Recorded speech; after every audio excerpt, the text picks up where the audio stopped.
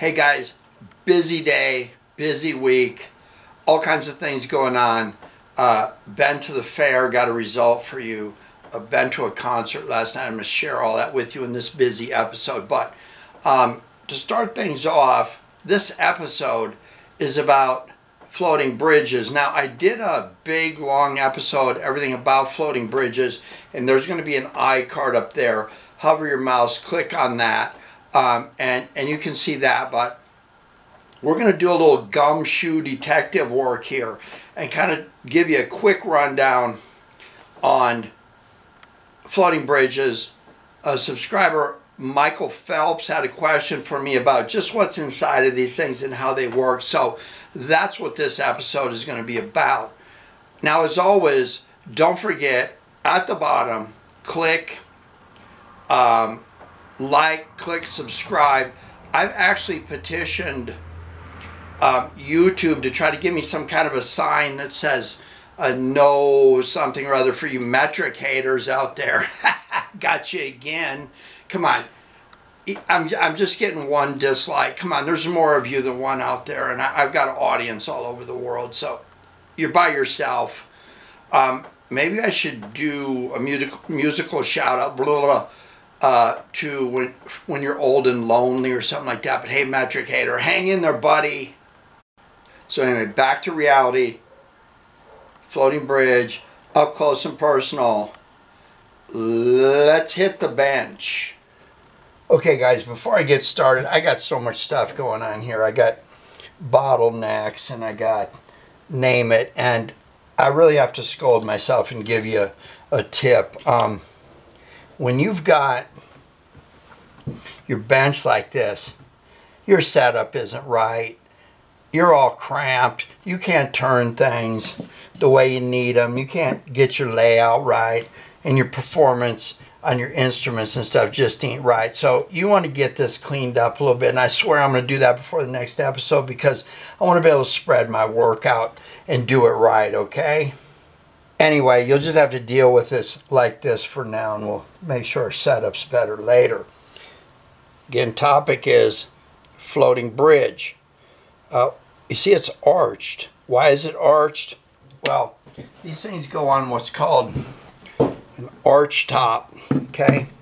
Now, somebody figured out that um, instead of having a flat top guitar, if you arch it like this, you can see it's got a bow to it.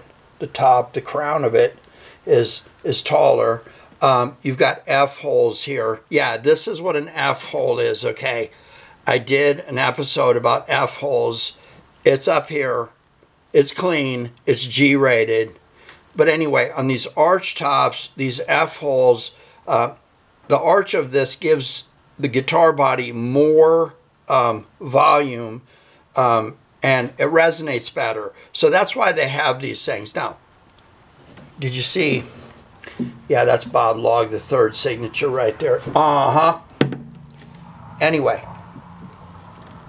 you see that this is arched, which means this would have to be arched. If it's not arched, then, and if it was flat and it wouldn't give right up here in this area, no, I'm not flipping you off, I'm just trying to be uh, dexterous, or whatever the word is. Um, if this didn't give here, and you put something flat on this, it would collapse the arch of the arch top, probably crack the wood and everything. But let me get this out of the way, and I'll show you how this is point of the matter here is some things just need to be arched and they don't do well laying flat, that's for sure.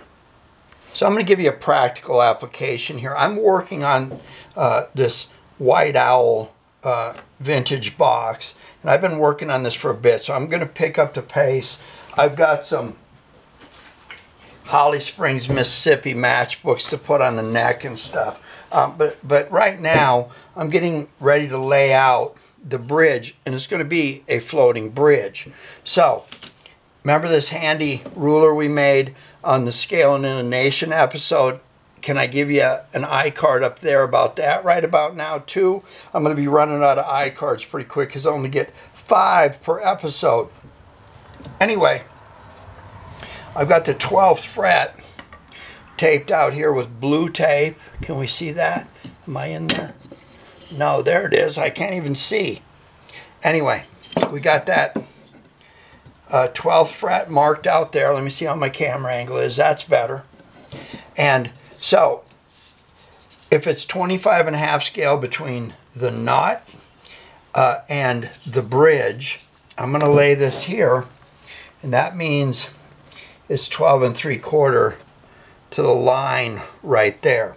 So I'm going to make a mark there and I'm going to come around to the other side. Again, I've got this blue taped so we can see right where that 12th fret is, put it right there. And I've got a mark there. And I took this, uh, made a mark here. I don't have to worry about this as it's going to be covered up here. And like so. Now, I just need to make sure I know where the center of this is by the box and the center of where this part of the floating bridge is. So before I get into the details of how this comes apart, again I wanted to mark the center here. Take my ruler I'm going to put it, see there and there, the thumb screws are. I'm going to put it there and there. I got 56, which means the center of it is at 28. And I'm going to mark that on both sides. Man, I give you guys so many metric hating opportunities in my episodes. Ain't I awesome? So, whatever I do, it's marked there and there. You see that? I'm going to make sure I know where the center of my box here is. One more metric hating opportunity. It is 152, which means the center of the box is 76. You just see how quickly you can do work with the metric system. So I'm ultimately going to line that up right there and on this line where these holes, the center of these holes, I can see that line through there like so. Okay, trying to get my setup right here. Back to you, Michael Phelps. Um, the way these things are is this slips off of here like this. These are just two holes, you see that?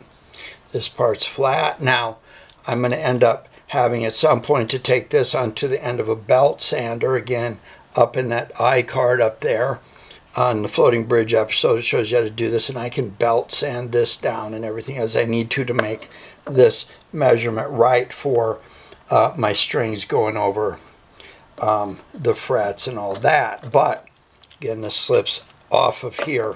Now these thumb screws come right off like so, leaving you this stud that I can just take.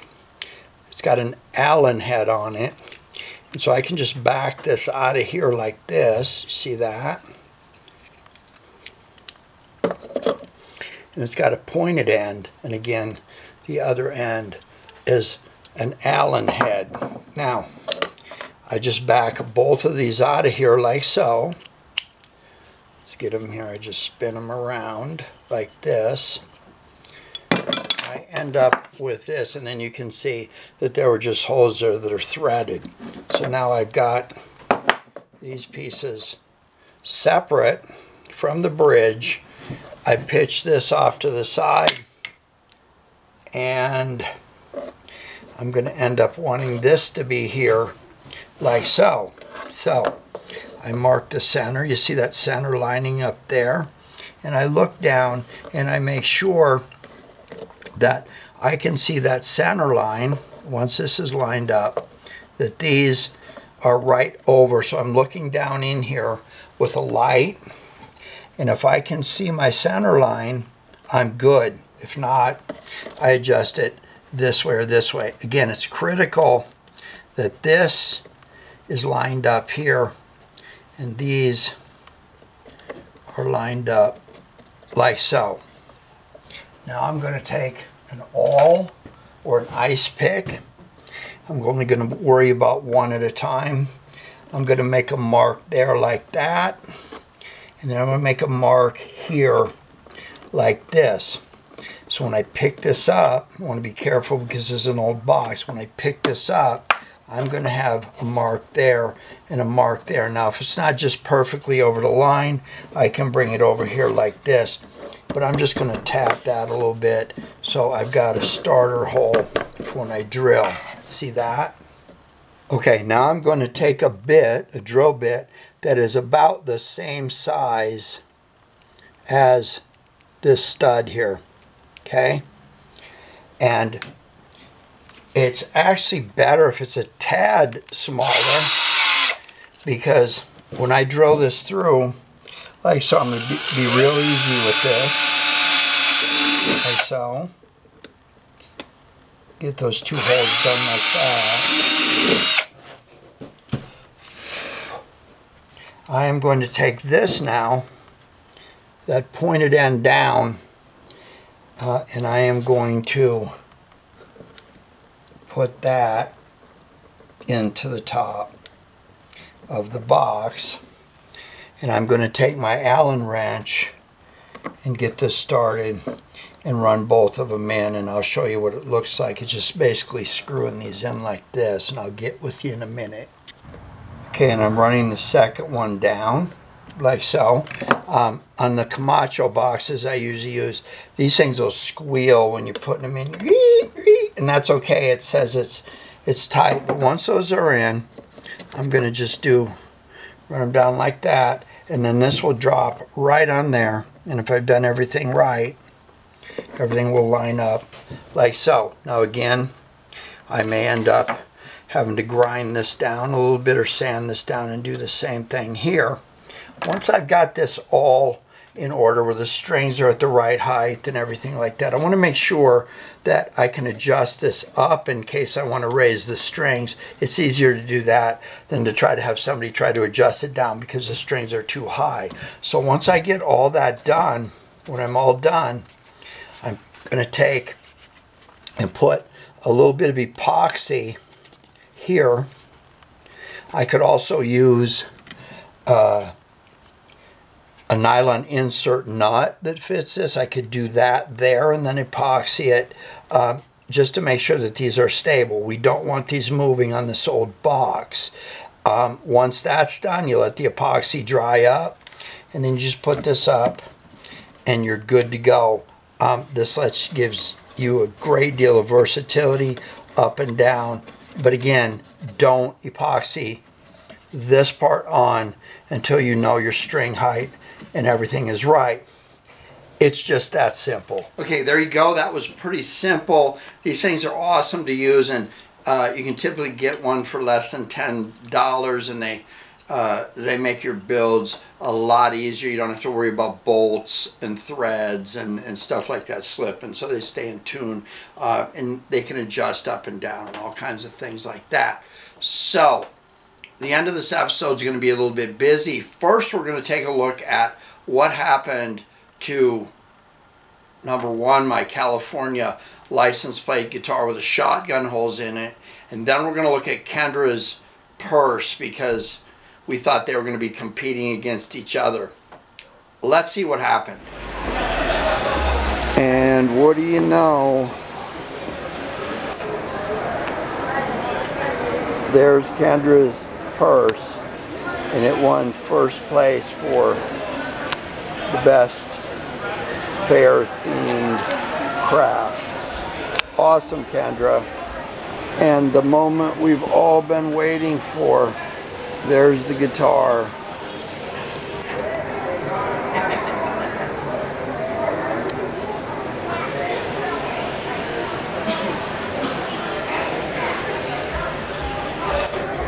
Bingo. Best of division, best of show.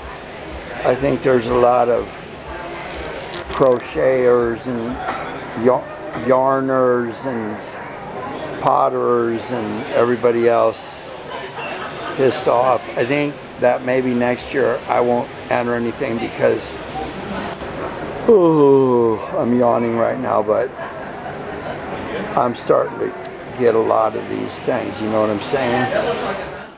Hey, that's pretty cool, huh? Um, that uh, license plate guitar is going to England. Um, it's going to be a little bit before it goes off because I like have to see a chiropractor and get my health addressed because, um, yeah, I hurt my back pretty badly uh, carrying all of the ribbons I won at the county fair. That seems to be an annual occurrence for me. Hey, I got great health insurance. Maybe the only one in the United States that does. All right, finally, we're getting towards the end. Let's switch out the Longhorns hat and put on the restaurant hat because I got to see my friend Troy Murrah and Tyler Whiteside from Restaurant play. They were the opening act for Echo Park Rising. Um, checked in with him about the coffee can, the four string coffee can.